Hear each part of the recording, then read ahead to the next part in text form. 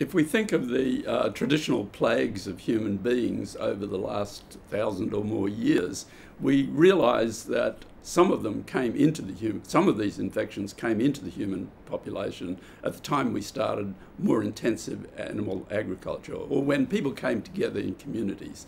Uh, measles virus is a case in point. Uh, measles virus is really very similar to rinderpest virus, uh, uh, the disease of cattle, which has now hopefully been eliminated worldwide. We celebrated that several years back.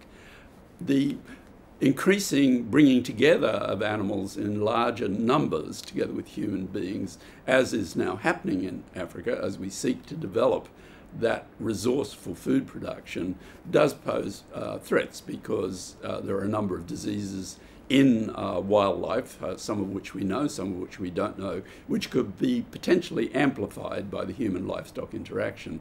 And that's why it's particularly important for ILRI and for various state and national governments to be aware of this and to be probing and testing for it. And of course, with modern technology, with uh, genomics and PCR type techniques, we can move very quickly on that. And that minimizes a potential threat, which could be a global threat because these things can go globally very rapidly if they happen to jump from animals to humans and then spread rapidly between humans. We haven't seen that uh, recently, except of course in the well known instance of the influenza A viruses, where components do come in from wildlife or from domestic animals to infect us. And uh, the 2009 H1 influenza outbreak was a case in point.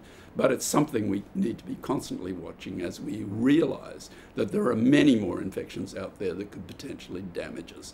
Uh, the Ebola outbreak was a case in point. This is an, a virus which comes across from bats into primates and or other hum or humans, and uh, and as we know, can cause devastating uh, epidemics.